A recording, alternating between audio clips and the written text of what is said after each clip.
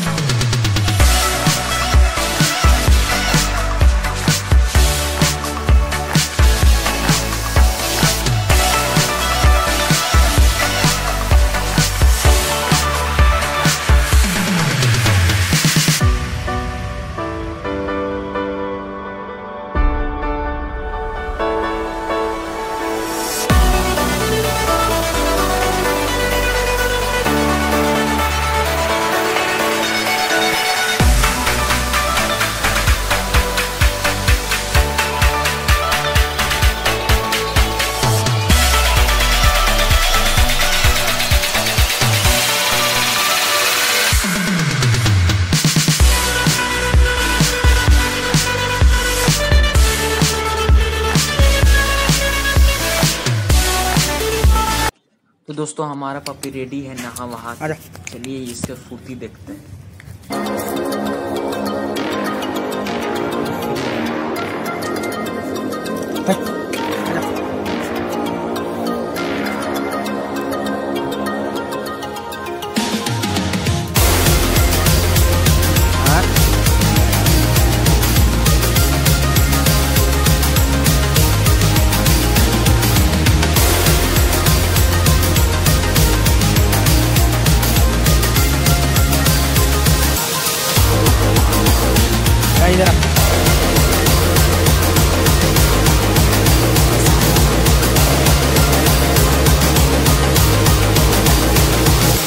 इसी तरह वीडियो को शेयर करते रहो।